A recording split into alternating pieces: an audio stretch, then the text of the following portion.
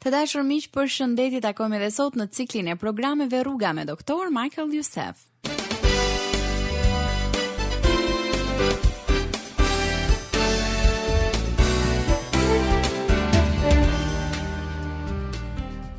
Jemi në mes të një serie mesazhesh me titull Portreti i një heroi, në qendër të të cilit është Mojsiu, njeriu i zgjedhur i Perëndisë për të çliruar popullin nga skllavëria. Gjatë programeve tona të shkuara pamë 10 plagët që pllagosën vendin e Egjiptit, secila prej tyre ishte kundër çdo perëndie të rreme egjiptiane. Mësuam se plaga e 10 ishte gjykimi përfundimtar i Jehovës mbi zemrën e ngurtësuar të faraonit.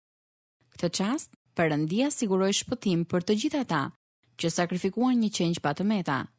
E njëjta gjë ndodhi kur qengji i Perëndisë vdiq në kryq, por këtë herë gjykimi përfundimtar nuk ishte i rëndësishëm vetëm për njerëzit e Perëndisë, por edhe për të gjithë ata që vendosin të besojnë sot tek ai. Më pas, Doktor Youssef na tregoi se si besimtarë, ne e mundim satanin me anë të gjakut të qengjit dhe me anë të fjalës së dëshmisë sonë. Nëse do të mund të kuptonit ndonjëherë fuqinë e gjakut në mposhtjen e mëkatit, satanit dhe demonëve të tij, do të ndryshonte krejtësisht jetën tuaj të krishterë. Sepse sa herë shpallni gjakun e Krishtit, ju identifikoheni me jetën që ai dha për ju. Në minutat në vazhdim do të shohim rrugëtimin e njerëzve të Perëndisë jashtë mureve të Egjiptit, nën udhëheqjen e Mojsiut. Çfarë bënë ata në momentin kur u përballën me një pamundësi të dukshme? Hello listening friends.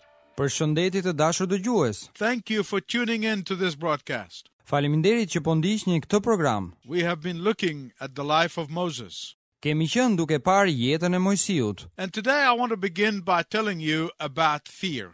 Dhe sot, dua ta nis duke ju treguar për frikën. History books give us many example of the power of fear. Librat e historisë na tregojnë shumë shembuj të fuqisë së frikës. They tell us how fear paralyzed and defeated the strongest of people. Ata na tregojnë Se si frika paralizonte dhe mposhte njerëzit më të fuqishëm. While faith and courage gave victory to the weak. Ndërsa besimi dhe kurajoja i jepnin fitore të dobëtit. I think each of us can testify to the fact that at some time or another fear threatened to render us ineffective. Mendoj se secili prej nesh mund të dëshmojë për faktin se në ndonjë çast, frika, ka kërcënuar të na bëjë të padobishëm. But faith and perseverance gave us victory.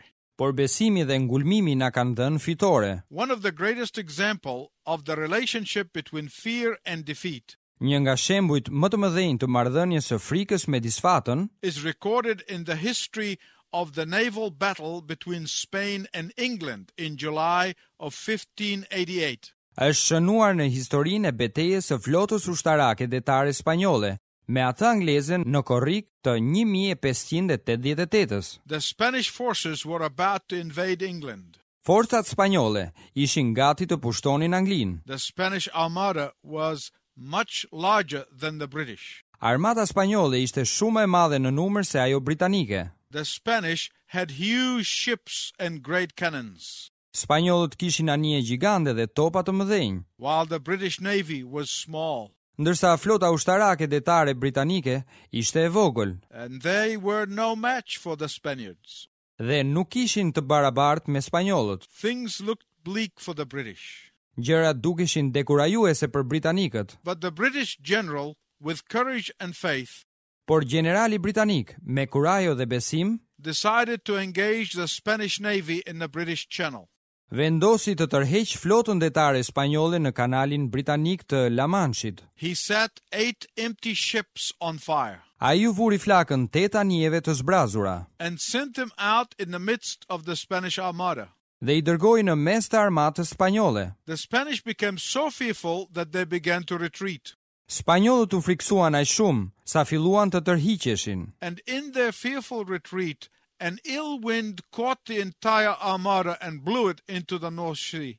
Dhe në tërheqjen e tyre të frikshme, të gjithë armatën e zuri një erë e fortë që e flaku në Detin e Veriut. Until their ships were beached on the Flemish coast of Belgium and on the Irish coast. derisa anijet e tyre u ankoruan në bregdetin flamand të Belgjikës dhe në atë irlandez. That moment of fear was the beginning of the decline of the Spanish Empire. Ai moment frike ishte fillimi i rënies së Perandorisë Spanjolle. After the sixteenth century the nation was never once was. Pas shekullit të gjashtëmbëdhjetë, kombi nuk ishte më si më parë. Why? Përse? Because of a moment of fear and hesitation. Për shkak të një çasti frike dhe hezitimi. Why? Përse? Because they took counsel of their fear and caution instead of faith and courage. Sepse ata dëgjuan këshillën e frikës dhe të kujdesit për të mos rrezikuar, Në vend të besimit dhe kurajos. Now the same thing can happen in our spiritual life. Tani e njëjta gjë mund të ndodhë në jetën tonë shpirtërore. Christians who take counsel of their fears and anxiety instead of faith and courage. Të krishterët që marrin këshillë nga frika dhe shqetësimi i tyre, në vend të besimit dhe kurajos. Christians who refuse to stretch out in faith and invade Satan's territory. Të krishterët që refuzojnë të forcohen në besim dhe të pushtojnë territorin e Satanit. They will face spiritual defeat. Do të përballen me disfatën shpirtërore. Whenever you stand in the crossroads of life, you have two choices. Sa herë që qëndroni në kryqëzime në jetën tuaj, keni dy zgjedhje. You can take counsel of your fears and begin on the road to defeat. Mund të dëgjoni këshillën e frikës suaj dhe të nisni udhëtimin në rrugën e disfatës. Or you can exercise faith and go marching forward. Ose mund të ushtroni besim dhe të marshoni përpara. You can be frozen before your mountain of impossibility. Mund të ngrini përpara malin tuaj të pamundësisë. Or you can be like Caleb and say, Give me that mountain. Ose mund të bëheni si Kalebi dhe të thoni, Ma jep mua atë mal! I want you to turn with me please to the book of Exodus chapter 14 and verse 10. Dua që të shkojmë së bashku tek libri i Eksodit, kapitulli katërmbëdhjetë dhe vargu dhjetë. In the previous messages we saw God's judgment upon the gods of the ancient Egyptians. Në mesazhet paraardhëse, pamë gjykimin e Perëndisë mbi perënditë e egjiptasve të lashtë. Supernaturally, ten different judgment came in successive blows. Në mënyrë të mbinatyrshme, erdhën dhjetë goditje gjykimi, të njëpasnjëshme dhe të ndryshme. And here we see God's people heading out of Egypt Under the leadership of Moses. Dhe këtu shohim njerëzit e Perëndisë të dalin nga Egjipti nën udhëheqjen e Mojsiut. But the moment they confronted an apparent impossibility, what did they do? Por çfarë bënë ata në momentin kur u përballën me një pamundësi të dukshme? Did they say, We have the great God of the impossible? A thanë ata, Ne kemi Perëndinë e madh të së pamundurës. Did they say God manifested his power and glory ten times before and now he will do it again? A thanë ata, Perëndia manifestoi më parë fuqinë dhe lavdinë e tij dhjetë herë dhe tani do ta bëjë sërisht? No. Jo. They did what most of us do when we get into an impossibility in life. Ata vepruan si shumica jonë Kur arrijmë në një pamundësi në jetë. They panicked. Ata i zuri paniku. Let's look at their situation. Le të shohim situatën e tyre. In front of them there was the Red Sea. Para tyre ishte Deti i Kuq. Behind them there were six hundred war chariots led by Amenhotep. Pas tyre ishin gjashtëqind karroca lufte që drejtoheshin nga Amenhotepi. Beside them there was the desert and the mountains. Pranë tyre ishte shkretëtira dhe malet. At that point they had three options. Në këtë pikë kishin tre alternativa. And we face the same thing. Dhe ne përballemi me të njëjtën gjë. When you're about to do something great for God, you will hear three voices. Kur je gati për të bërë diçka të madhe për Perëndinë, Do të dëgjosh tre zëra. You will hear Satan's voice. Do të dëgjoni zërin e Satanit. And he will say to you retreat and go back and give up and give in. Dhe ai do të thotë, tërhiqu, ktheu mbrapa dhe dorëzohu. You cannot succeed, you cannot make a difference. Ti nuk mund të kesh sukses, Ti nuk mund të sjellësh ndryshimin. Your own voice will be the second voice that you'll hear.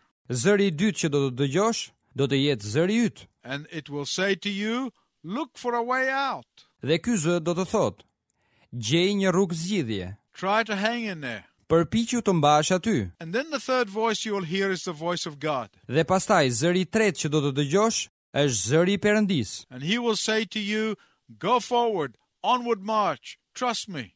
Dhe ai do të thotë, Ec përpara, marsho, më beso. He will say to you, Have faith in me, have courage, fear not, lean on me, call upon me. Ai do të thotë, Ki besim tek unë, ji kurajoz. Mos u frikëso, mbështetu tek unë, më thirr. Those same three voices were evident here in Exodus chapter 14. Këta tre zëra ishin të dukshëm tek Eksodi kapitulli katërmbëdhjetë. While Pharaoh drew near the people of Israel lifted up their eyes, and behold the Egyptians were marching after them, and they were in great fear and they cried out to the Lord. Ndërsa Faraoni afrohej, Populli i Izraelit ngrinte sytë dhe shikonte. Egjiptianët po marshonin pas tyre. Ata ishin shumë të frikësuar dhe i thërrisnin Zotit. Not only that they were fear-stricken. Ata jo vetëm që ishin të pushtuar nga frika. But in verse eleven they turned on Moses and blamed him.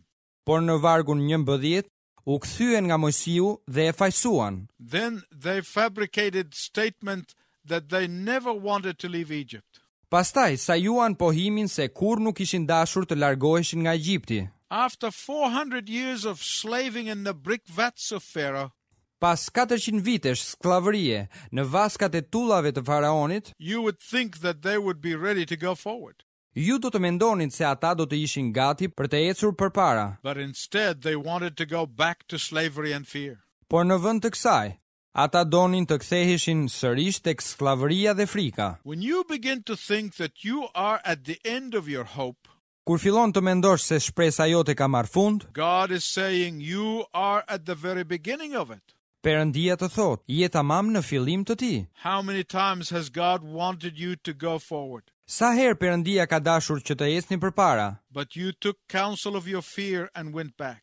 Por ju dëgjuat këshillën e frikës suaj dhe u kthyet mbrapa. How many times God wanted to bless you His way? Sa herë Perëndia ka dashur t'ju bekojë sipas mënyrës së tij? But instead you wanted to be blessed your way. Por në vend të kësaj, Ju doni të bekoheshit sipas mënyrës suaj? How many times did you hear the voice of God saying go forward in faithfulness to me? Sa herë e keni dëgjuar zërin e Perëndisë t'ju thotë, Ecni përpara me besnikëri ndaj meje? But instead you listened and obeyed the voice of Satan and went back. Por në vend të tij, ju dëgjuat dhe iu bindët zërit të Satanit dhe shkuat mbrapa. Do you know that God never blesses anyone who looks back? A e dini se Perëndia nuk bekon kurrë dikë që kthen kokën pas? Lot's wife stands as a monument to looking back.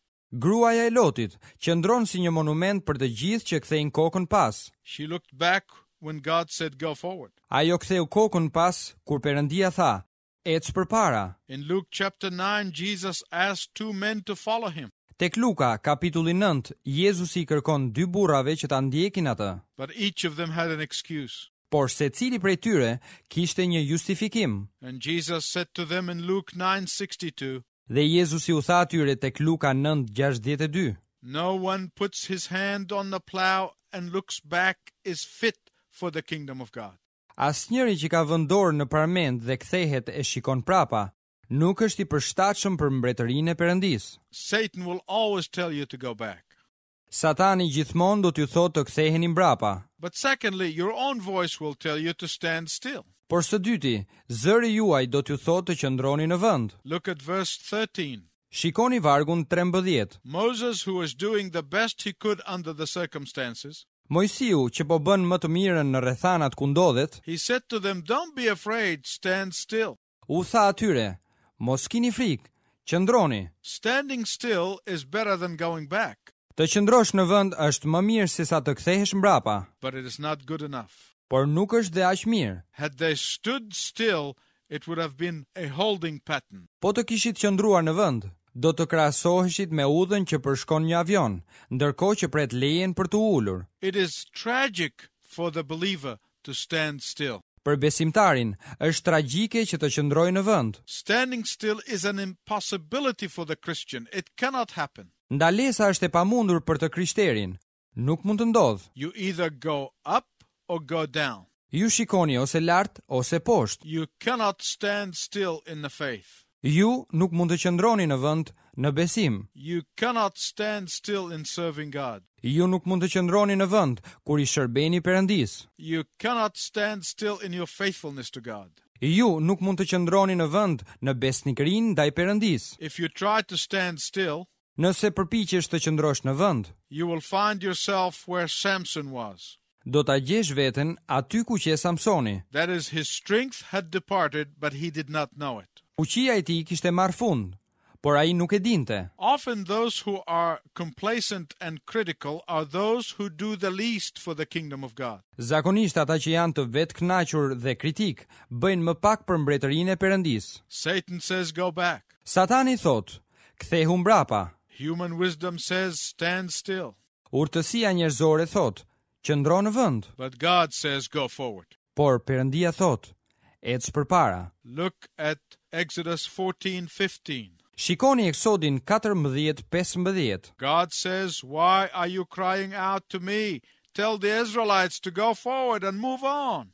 Perëndia thotë, Pse më bërtet mua? U thuaj bijve të Izraelit të shkojnë përpara. Moses was in a posture of prayer, crying to God. Moisiu ishte në një qëndrim lutjeje, duke i thirrur Perëndisë. As far as Moses was concerned, this was a time to cry to the Lord. Për sa i përket Moisiut, kjo ishte koha për të thirrur Zotin. But as far as God was concerned, this was a time to get off your knees and start moving. Por për sa i përket Perëndisë, kjo ishte koha për të lëshuar gjunjtë dhe për të lëvizur. Let me give you some examples when you do not need to ask God. Më lejoni t'ju jap disa shembuj ku nuk është nevoja të pyesni Perëndinë. You cannot say, Lord, is it your will for me to witness? Ju nuk mund të thoni, Zot, a është vullneti yt që unë të dëshmoj? The Bible said to always be ready to give an account for the hope that lies within you. Bibla thotë që të jemi gjithmonë gati, të jepni llogari për shpresën që banon në ju. You cannot say, Lord, is it your will for me to exercise my spiritual gift? Ju nuk mund të thoni, Zot, a është vullneti yt që të ushtroj dhuntinë time frymërore? The Bible says that you must use your spiritual gift. Bibla thotë se ju duhet të përdorni dhuntinë tuaj frymërore. These things are already settled in heaven and in the word of God. Këto gjëra janë vendosur në qiell dhe në Fjalën e Perëndisë. And sometimes waiting to hear from the Lord is merely an excuse for you. Dhe ndonjëherë të presësh të dëgjosh nga Zoti është thjesht justifikim për ju. An excuse to stay in your fear instead of moving forward in obedience. Një justifikim për të qëndruar në frikë, në vend që të lëvizni para në bindje. Too often we discuss and discuss and discuss and Satan is laughing at us. Shumë shpesh ne diskutojmë e diskutojmë pa fund dhe Satani qesh me ne. It is time to be done with planning and do something. Është koha të japim fund planifikimeve dhe të bëjmë diçka. When you go forward God will part the sea. Kur ecni para, Perëndia do të çajë detin. When you go forward, God will remove obstacles. Kur ecni para, Perëndia do të heqë pengesat. When you go forward, God will do the impossible. Kur ecni para, Perëndia do të bëjë të pamundurën. When you go forward, God will bless you. Kur ecni para, Perëndia do t'ju bekojë. When you do your part, God will do His part. Kur ju bëni pjesën tuaj, Perëndia do të bëjë pjesën e Tij. When you do the possible, God will do the impossible. Kur bëni ç'është e mundur, Perëndia do të bëjë të pamundurën. Are you ready to go forward in your life? A jeni gati të ecni përpara në jetë? It is my prayer that you would say yes. Është lutja ime që ju të thoni po. Until next time, I wish you God's richest blessing. Deri herën e ardhshme, ju uroj gjithë bekimet e Perëndisë.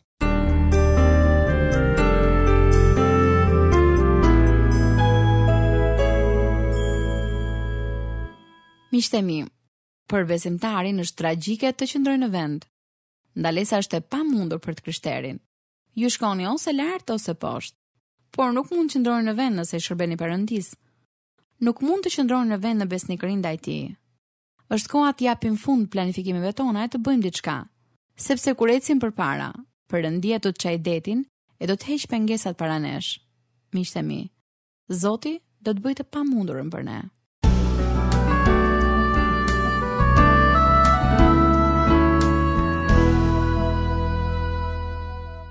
Në programin tonë të herës së ardhshme, doktor Yusef do të na tregojë se është shumë e rëndësishme të kërkojmë vetëm një burim këshile, dhe ky burim është fjala e Perëndisë dhe fryma e tij. Na ndiqni në programin tonë të herës së ardhshme për të mësuar se kur je në Jezus Krishtin, kur je i mbushur çdo ditë me frymën e shenjtë të Perëndisë, jo vetëm që do ta fitosh betejën, por do të jesh fitimtar. Për më tepër, mos e humbisni mesazhin tonë të radhës. E si gjithmonë në fund të kujtoj se ne mirëpresim letrat dhe emailet tuaja në adresë të programit tonë. Radio 7, kutia postare 2914 Tiranë, ose me email në adresën info@radiovis7.net. Po kështu ju mund të kërkoni dhe një kopje të librave të Dr. Jusef, Gjetja e gëzimit që ke dashur gjithnjë dhe 7 hapat.